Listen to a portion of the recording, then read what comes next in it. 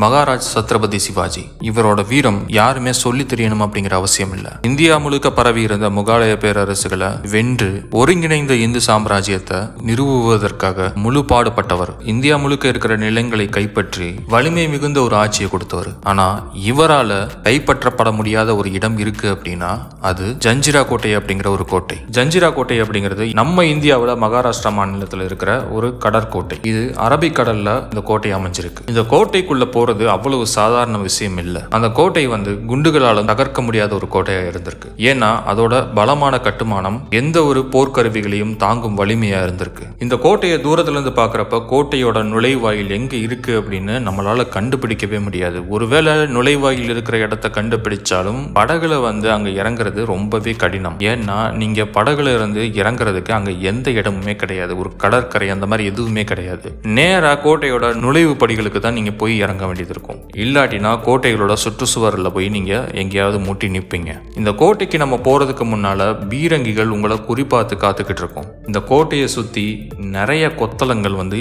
வைக்கப்பட்டிருக்கும். இந்த கோட்டையை சுத்தி நிறைய டவர்ஸ் இருக்கு. அந்த ஒவ்வொரு டவர்ஸ் மேலேயுமே ஒவ்வொரு பீரங்கி ஒவ்வொரு திசையை பார்த்து குறிப்பாத்துக்கிட்டு இருக்கும் அந்த பீரங்கிலாம் சில பத்து கிலோமீட்டர் வரைக்கும் தாக்குற திறன் கொண்டது. அப்படின்னா அந்த கோட்டையை நெருங்குறது எவ்வளவு கஷ்டம் அப்படின்னு நினைச்சு பாருங்க. அது மட்டும் இல்லாம இந்த கோட்டையிலிருந்து வெளியே வர்றவங்களுக்கு ஒரு சிறப்பு முத்திரை வந்து கொடுப்பாங்க. அவங்க வெளியே போயிட்டு திரும்பி அந்த கோட்டைக்கு வரும்போது அந்த சிறப்பு முத்திரையை காட்டிட்டு தான் உள்ள வரணும். ஒருவேளை அந்த சிறப்பு முத்திரை வந்து எங்கேயாவது தொலைஞ்சிட்டாலோ அந்த நபர் எதையுமே கேட்காம கொல்லப்பட்டுருவாரு. இந்த அளவுக்கு செக்யூரிட்டி ப்ராசஸ் வந்து அந்த கோட்டையை சுத்தி இருந்திருக்கு. இந்த கோட்டையே ஒரு பலமான கோட்டை அப்படின்னா இந்த கோட்டையை பாதுகாக்கிறது இருக்கிறதுல இயற்கைக்கும் பங்கு இருக்குது கடல் அலைகள் குறைஞ்சாலும் கூட இந்த கோட்டையை சுற்றி இருக்கிற பகுதியில் முப்பது அடி ஆழம் வரைக்கும் தண்ணீர் இருக்கும். இது இந்த கோட்டையோட பாதுகாப்பை இன்னும் அதிகப்படுத்தியிருக்கு. ஒரு பக்கம் இயற்கையும் இன்னொரு பக்கம் கோட்டையோட கட்டுமானமும் அதுக்கப்புறம் உள்ளே இருக்கிற அந்த நடைமுறைகளும் இந்த கோட்டையை வலுவான கோட்டையாக வந்து வச்சுக்கிட்டு இருந்திருக்கு. இதனால யாராலையுமே இந்த கோட்டையை நெருங்க கூட முடியல. நெருங்க கூட முடியாத அளவுக்கு இந்த கோட்டையை யார் கட்டினாங்க?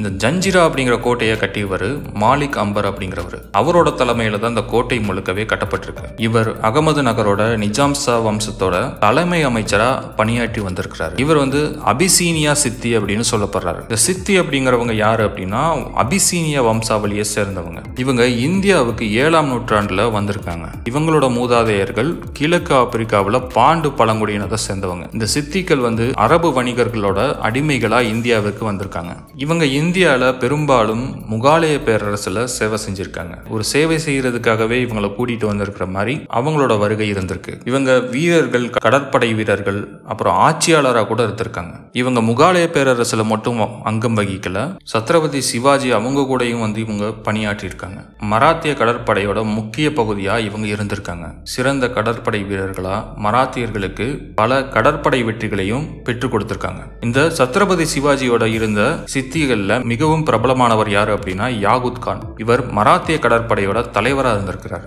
இவர் சிவாஜி மகாராஜுவுக்கு மிகவும் நம்பிக்கையாளராக இருந்திருக்கிறார். பல கடற்படை போர்கள்ல சத்ரபதி சிவாஜியோட இவர் பங்கெடுத்திருக்கிறார். இந்த சித்திகளும் மராத்தியர்களும் சேர்ந்து நிறைய கடற்படை வெற்றிகளை பெற்றுக் கொடுத்திருக்காங்க. ஸோ இவங்க முகாலயர்களோட பேரரசுலயுமே அங்கம் வகிச்சிருக்காங்க. அதே போல சத்ரபதி சிவாஜியோட பேரரசுலயுமே அங்கம் வகிச்சிருக்காங்க. அதே போல பிரிட்டிஷ்காரங்களுக்கும் இவங்க சேவை செஞ்சிருக்காங்க.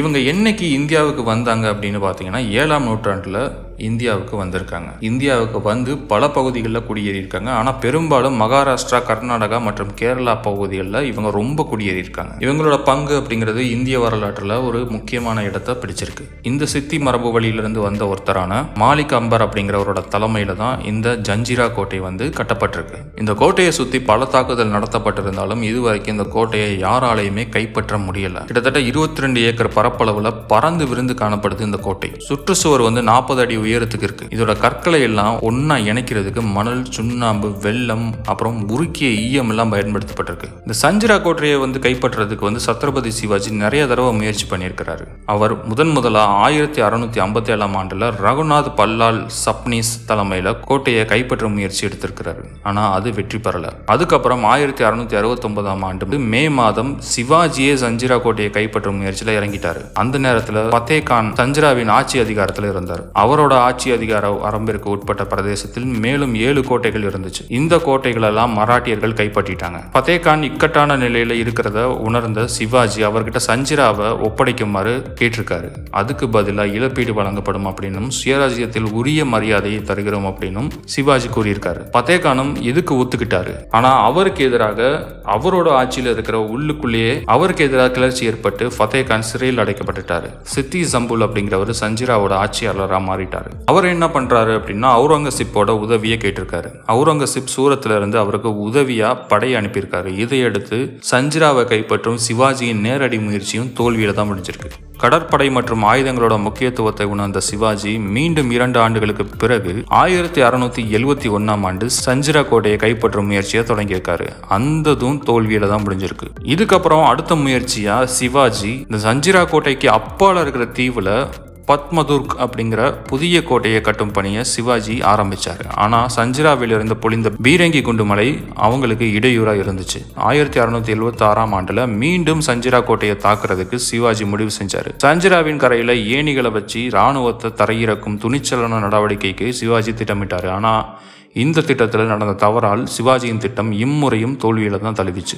இவ்வளவு முயற்சிகளை இந்த கோட்டையை கைப்பற்றுவதற்காக சிவாஜி மன்னர் வந்து முயற்சி செஞ்சிருக்காரு. அது கைப்பற்ற முடியாம போயிருக்கு. அதுக்கப்புறம் இந்த சித்திகளுக்கு உதவிக்கிட்டு இருந்த அவுரங்கசீப் அப்படிங்கிற முகாலய பேரரசரே இந்த கோட்டையை வந்து கைப்பற்ற முயற்சி பண்ணியிருக்காரு. ஆயிரத்தி அறுநூத்தி எண்பத்தி நாலாம் ஆண்டுல இந்த கோட்டையை கைப்பற்றுறதுக்கு முயற்சி செஞ்சிருக்காரு. ஆனா வழக்கம் போலவே அந்த கோட்டையை அவராலையும் கைப்பற்ற முடியல. இப்படியா இந்த கோட்டையை வந்து யாருமே கைப்பற்ற முடியாத ஒரு சூழ்நிலை நிலவிக்கிட்டு இருக்கும் போதுதான் ஆயிரத்தி எண்ணூத்தி பத்தொன்பதாம் ஆண்டுல பிரிட்டிஷ் கிழக்கிந்திய கம்பெனி சஞ்சிரா கோட்டையை வந்து கைப்பற்றிச்சு. பிரிட்டிஷ் ஆட்சியில சஞ்சிரா கோட்டையை ஒரு சிறைச்சாலையா பயன்படுத்தப்பட்டிருக்கு. ஆயிரத்தி தொள்ளாயிரத்தி நாற்பத்தி ஏழு இந்தியா சுதந்திரம் பெற்றதுக்கு பிறகு சஞ்சிரா கோட்டை இந்தியாவோட முழு கட்டுப்பாட்டில் வந்திருக்கு. இந்த கோட்டைக்குள்ளேயே பார்த்தீங்க அப்படின்னா இயற்கையான சூழல் ரொம்பவே ரம்மியமாக இருக்கும். நான்கு பக்கங்களும் கடல் நீரால் சூழப்பட்டிருந்தாலும் கோட்டைக்குள்ளேயே ரெண்டு நன்னீர் ஏரிகள் இருக்கு. இந்த நாடு சுதந்திரம் அடைஞ்சதுக்கு அப்புறம் இந்த கோட்டையில ஐநூறு குடும்பங்கள் வசிச்சுட்டு வந்திருக்காங்க. இவங்களை விவசாயம் செய்யறதுக்காக சித்திகள் அழைத்து வந்திருக்காங்க அப்படின்னு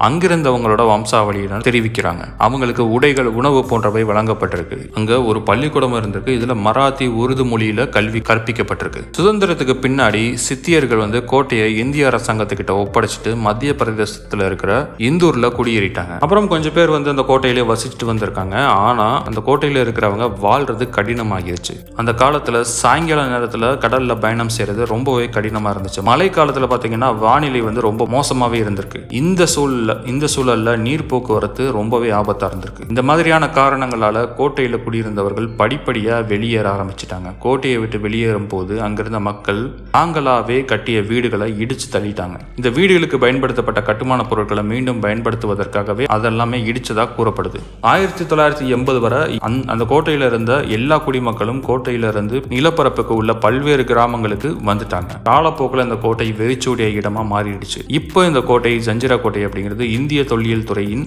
கட்டுப்பாட்டில் இருக்குது அனுமதி இல்லாமல் யாருமே கோட்டைக்குள்ளே நுழையக்கூடாது அப்படிங்கிற அறிவிப்பு கோட்டை பகுதியில் இருக்குது இன்னைக்கு சஞ்சிரக்கோட்டை ஒரு முக்கியமான வரலாற்று மற்றும் கலாச்சார சின்னமாக அறியப்படுது. இது ஒரு தேசிய நினைவு சின்னமாகவும் அறிவிக்கப்பட்டிருக்கு. கடந்த சில வருடங்களாகவே இந்த கோட்டை சுற்றுலா பயணிகள் கிட்ட மிகுந்த வரவேற்பை பெற்று வருது.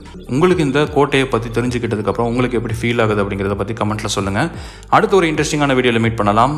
தேங்க்யூ